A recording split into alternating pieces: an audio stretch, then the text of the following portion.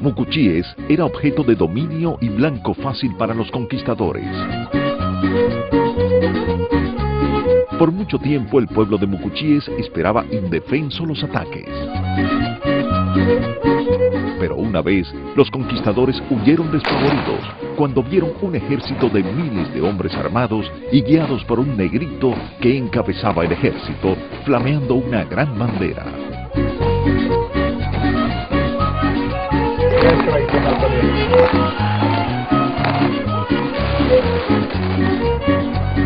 San Benito de Palermo es un santo muy singular, en primer lugar por su color, un santo negro y es el primer santo negro canonizado eh, por la iglesia. Esto eh, lo hace más interesante porque todo su proceso de beatificación y de canonización fue muy exhaustivo, lo cual hizo que se pueda reconstruir lo que es eh, su verdadera historia.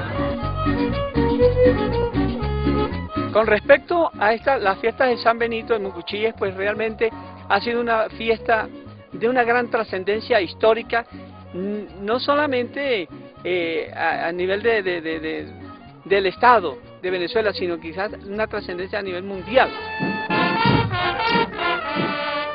El coronel del ejército, Rafael Salas, y sus hombres se enfrentaban a sus enemigos en una atroz batalla que era vista por el coronel como algo absurdo y sin fundamento.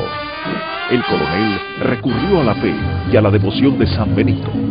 Le ofreció la promesa al Santo Negro de rendirle tributo anual si la guerra cesaba.